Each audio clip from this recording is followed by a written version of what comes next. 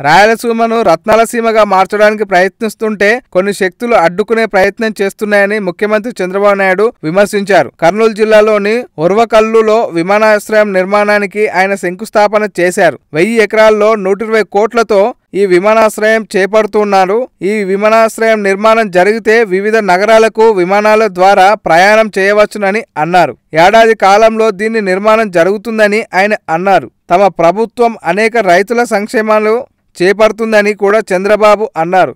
Jain irrigation సంస్థ ఆధ్వర్యంలో food processing unit కూడా ఆయన ప్రారంభించారు.